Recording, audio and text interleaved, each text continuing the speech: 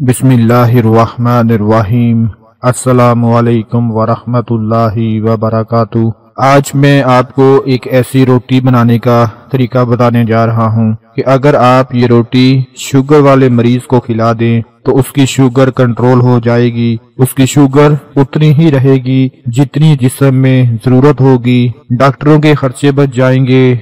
डॉक्टरों की दवाइयों के पैसे बच जाएँगे। जो मेरे भाई, मेरी बहनें अपने घरों में शुगर जैसी खतरनाक बीमारी की वजह से बहुत ज़्यादा परेशान बैठे हुए हैं। वो सब लोग आज का ये छोटा सा जो मैं रोटी का आपको तरीका और अमल बताने जा रहा हूँ, इसको बड़ी तवज्जो के साथ सुन लेना। रोटी बनाने का तरीका और इस पर पढ़ा जाने वाला अमल, इसको बड़ी तवज्जो के साथ आपने सुनना है। जो लोग कहते हैं कि हम तो डॉक्टरों के पास जा जा कर थक चुके हैं, इलाज करवा करवा कर थक चुके हैं, हर रोज हमें डॉक्टरों के पास जाना पड़ता है। ऊपर से इतनी महँगाई है और खर्चे भी बहुत ज़्यादा हैं। तो कोई ऐसा अमल बता दिया जाए, कोई ऐसी चीज़ बता दी जाए कि जिसको इस्तेमाल कर लेने से शुगर भी कंट्रोल हो जाए और साथ साथ हमारी परेशानी भी खत्म हो जाए। तो आज इसी हवाले से अपने तमाम भाइयों बहनों को एक रोटी के बारे में बताने जा रहा हूँ। रोटी तो हर घर में बनती है, जिसको हम सब लोग खाते हैं सुबह के वक्त, दोपहर के वक्त, शाम के वक्त। लेकिन ये रोटी थोड़ी सी खास है, जो सिर्फ़ शुगर के मरीजों के लिए है। इनशाला शुगर वाला बंदा जो होगा, वो रोटी भी खाएगा। जिन डॉक्टरों ने रोटी खाने से भी मना कर दिया हो इनशाला इस वीडियो को देख लेने के बाद शुगर वाला मरीज़ रोटी भी खाएगा, पानी भी पिएगा और साथ साथ शुगर को कंट्रोल भी कर लेगा। आप सब जानते हैं कि ये ऐसा मर्ज है जो इंसानी ज़िंदगी को अजाब बना देता है और हर बंदा, चाहे वो मर्द हो, औरत हो, बूढ़ा हो, जवान हो, जिसको शुगर हो जाती है, वो इंतहाई दुशवार ज़िंदगी से गुजर रहा होता है। कभी भी उसे सुकून नहीं होता।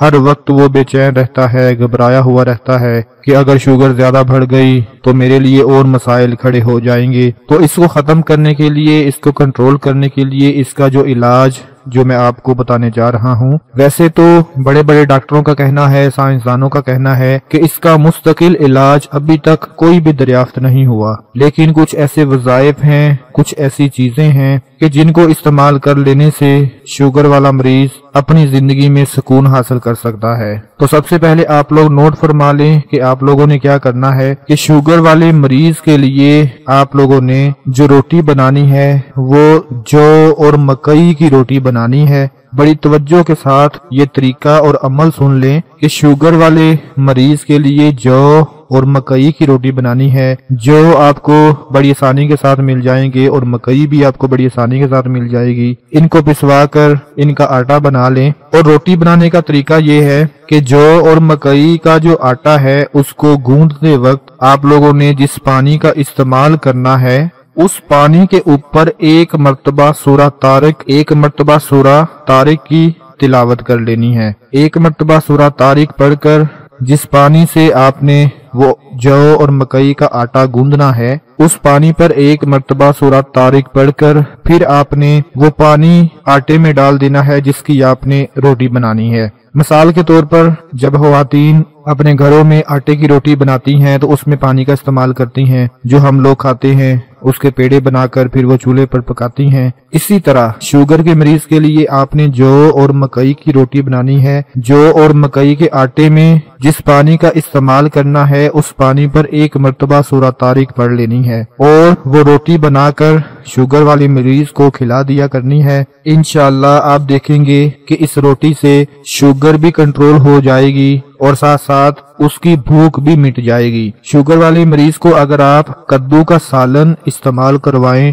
तो ये बहुत ही ज़्यादा मुफीद साबित होता है। जौ और मकई के साथ आप कद्दू का सालन दे सकते हैं, लेकिन ये जो रोटी मैंने आपको बताई है, इसका आप इस्तेमाल करवाना शुरू कर दें। कद्दू शरीफ में भी शिफा है, क्योंकि कद्दू हमारे प्यारे नबी हज़रत मोहम्मद सल्लल्लाहु अलैहि वसल्लम को पसंद था। उनकी पसंदीदा सब्ज़ी थी और जौ और मकई की रोटी जो है, इसका कोई नुकसान नहीं है। और जौ मकई की रोटी, जिस आटे पर आपने पानी डालना है, उस पर एक मरतबा सूरा तारीख पड़ी होगी। तो सूरा तारीख कुरान पाक की बहुत ही प्यारी सूरत है। वैसे तो कुरान पाक के हरफ हरफ में, हर हरफ में शिफा है। अगर बंदे का यकीन कामिल हो, ईमान कामिल हो तो उसके एक एक लफ्ज में शिफा रखी हुई है। जब आप लोग एक मरतबा सूरा तारीख पढ़कर पानी पर फूंक मार देंगे और उस पानी को जौ और मकई के आटे में डालकर उसकी रोटी बना लेंगे और शुगर वाले मरीज़ को खिला देंगे तो अल्लाह के करम के साथ, अल्लाह के फजल से